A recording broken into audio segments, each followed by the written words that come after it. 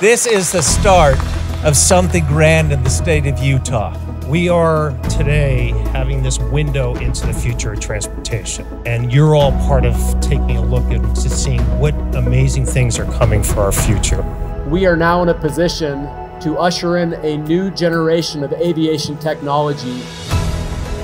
What Beta is doing is going to make Utah a leader nationally and globally in this space, and so we're grateful for that we have the opportunity to really be the hub for this new and innovative technology because we have a real problem that needs an innovative solution.